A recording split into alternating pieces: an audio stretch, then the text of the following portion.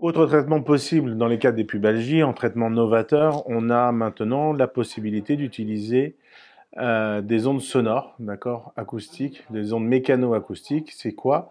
C'est la vibration d'une colonne d'air dans un tuyau qui va nous donner en fait une vibration. Cette vibration va aller de 80 à 250-300 Hz.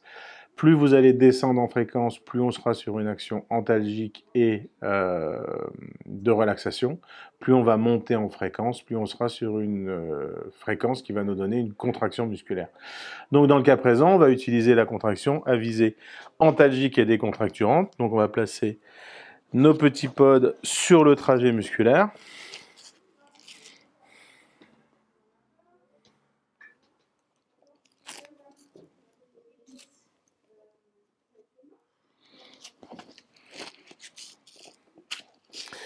Et on va lancer un programme de 15 minutes à 120 Hz pour avoir une action antalgique. C'est un peu bruyant, mais ça fonctionne très bien.